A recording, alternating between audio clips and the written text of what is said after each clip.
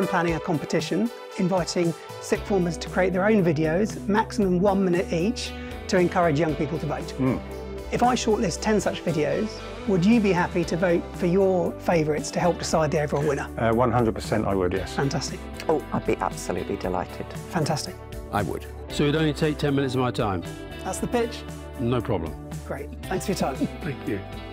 Well, I certainly wouldn't say I'm not voting because they're all going to be the same. Uh, so, yes, of course, I would uh, be very Thank happy you. to do that. Of course I would. Well, I can hardly say no after banging on about the importance of voting so much, so I'd be delighted to. Fantastic. Thanks for your time.